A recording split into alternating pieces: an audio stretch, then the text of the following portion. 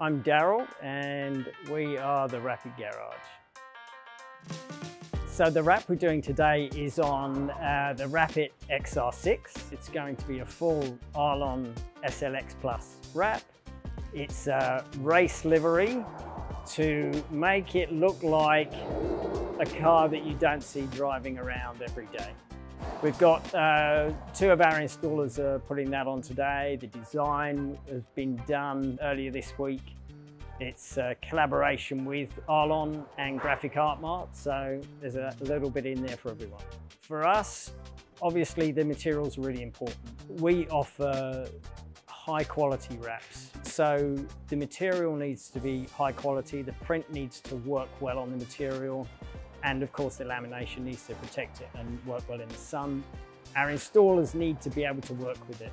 So, you know, I'm in some ways I'm answerable to our installers with the materials we bring in. Um, we have tried other materials and nothing, nothing beats Arlon.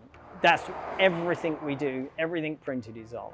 Graphic Art Mart have been a great supporter of what we do. They, their business is based on building relationships, helping us help our customers. They kind of help us connect the manufacturers all the way through to the customer. They have a, what I would say, a service first type approach, uh, which is really good for us. It helps us keep our customers happy. Yeah, it works really well.